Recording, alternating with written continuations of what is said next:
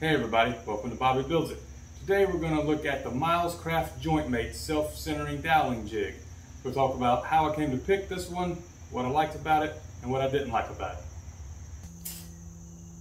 Before we go any further, I just want to say that I'm not affiliated with this company at all. I just found this one online when looking and bought it. Big reason I got it is 20 bucks for everything you have. And these drill stops for something I did not have and wanted. And it also has three different size dowels, the drill bits to go with them, even some wood glue. So basically, if all you had was a drill and you wanted to do some doweling, this jig will take care of you.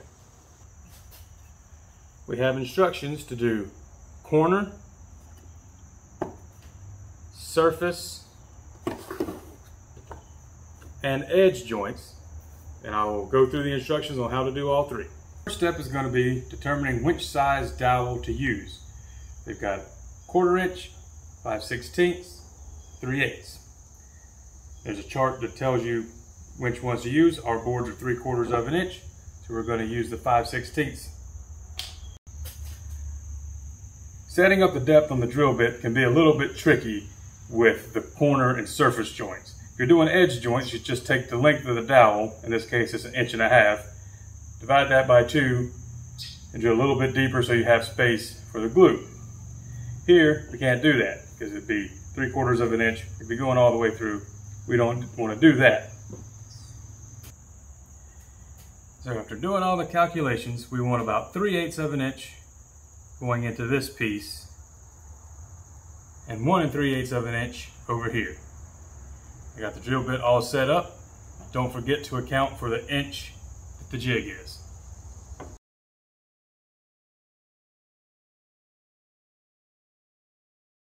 We're going to do something wild and unheard of and go step by step with the instruction books. Step one says, put the boards in their finished position, label them one and two. Here is one, there's two.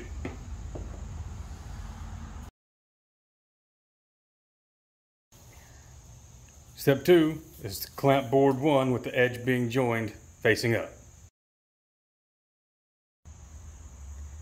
We actually did step three earlier when we figured out where we should set the, the drill stop, but now is a good time to make sure this is good and tight and doesn't move back on you, causing your hole to be deeper than you want it to. For step four, make sure you got the hole you want to use. We're going to use these two pegs, we're using the 5 16th inch bit. And you just straddle the board just like that. And you can pre-mark out where you want the dowels to be and find your mark and just hold it up tight against the board there. Step five, we're gonna drill our hole. Yeah. With your drill off, put it down there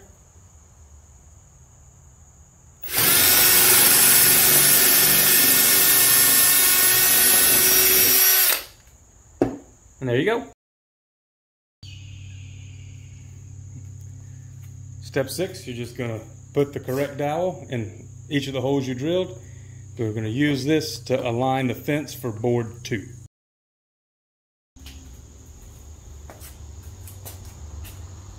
Step seven is to attach the guide fence. Slide that piece on. There are holes on either side for the pegs in. Step eight, find the right bushing, slide it right over your dowel.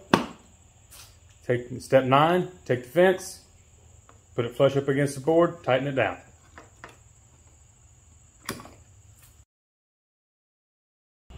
For step 11, you get the appropriate slot for the size dowel you're using. Slide it over the dowel and you push the whole thing until your fence is touching board number two.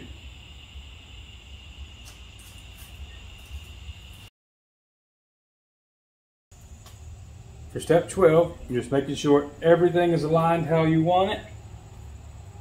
Boards are flush if that's where you want them to be.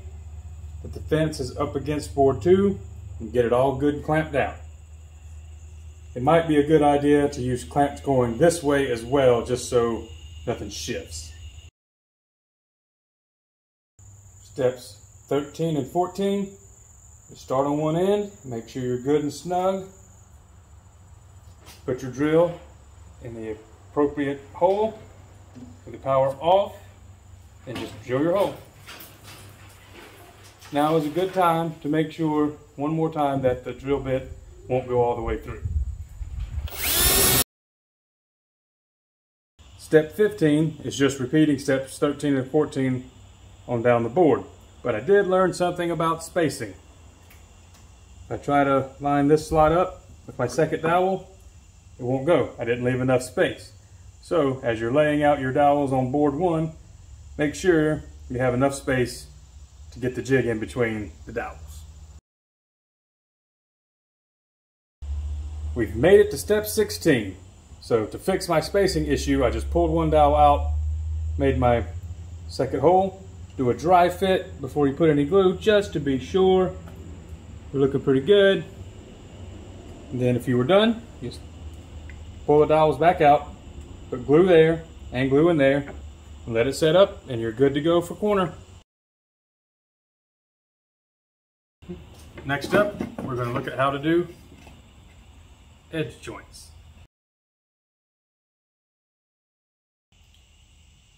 Step one for the edge joining is to just repeat steps one through nine from doing your corner with whatever edge you're wanting to use. Step two, you take board two and line it up how you want it with board one.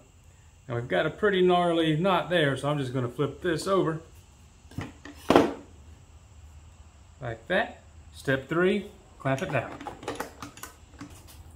So I had a little bit of a cupping issue, so I got some more clamps to tighten that up. For step four, find the appropriate slot, slide over the dowel, push the jig till it stops. Then take your fence, push it flush with board two, tighten it up,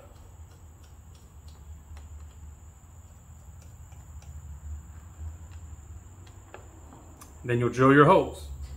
Step six will just be repeating the process on down the board. I went to do my dry fit and I noticed a couple of problems. There's a gouge here and this hole isn't complete. The dowel is showing through. Went ahead and put them together. And as you can see, they are nowhere near flush.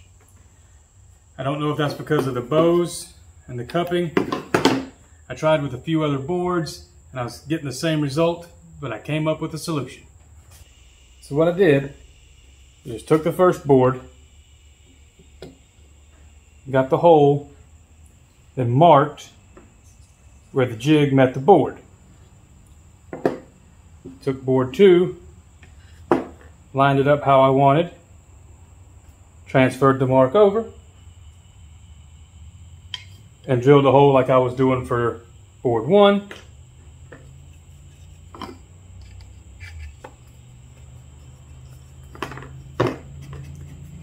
Much better results. It's more tedious, but it works. I'll have to practice some more and see if I can figure out that other way. For doing the surface joints, you do steps one through six of making the corner joint. Then you get board two and draw a line where your holes need to be. Take your jig put it over the right dowel, and there's a center line on it. Line that up with the line on your board and just drill your holes and repeat on down. Went ahead and drilled my holes. Let's see how it fits. There we go.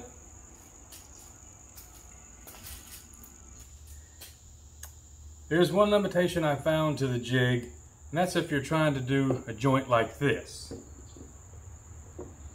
But the jig itself, there's really no way that it goes that you'll get the hole over here. They did include these pins, so what you can do is get the hole on this board where you need it to be, slide it in there, line this up how you want it, and just press down. Then you'll get a mark like that, and you could drill from there. It gives you a little indentation for the tip of the drill bit. Well, that will about wrap it up for this one. All in all, the jig did what it was supposed to do. Had a little struggle there with the edge joints, but that's probably due to the boards. If you're just starting to fill, fill out your tool collection like me, I think it's a pretty good thing to have with all the pieces that do come with it. One thing I would probably do is have another set of drill bits with the stop collars so I don't have to adjust so often if I'm in the middle of a big project. Thank you for spending some time with me today. We'll see you next time.